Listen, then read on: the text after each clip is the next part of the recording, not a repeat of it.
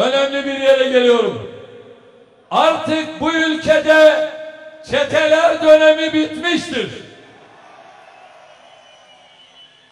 Bu ülkede mafya dönemi bitmiştir. Junta dönemi geri gelmemek üzere bitmiştir. Şunu da söylemem lazım. Faiz lobisi kendine çeki düzen ver.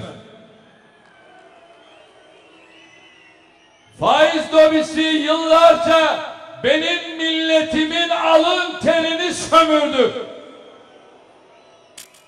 Bundan sonra sömüremeyeceksin. Çok sabrettik. Olay sadece bu lobiyi oluşturan bir banka, iki banka, üç banka kim varsa hepsi için aynı şeyi söylüyorum. Hepsi için aynı şeyi söylüyorum. Siz ki bize karşı böyle bir mücadeleyi başlattınız, bunun bedelini ağır ödeyeceksiniz.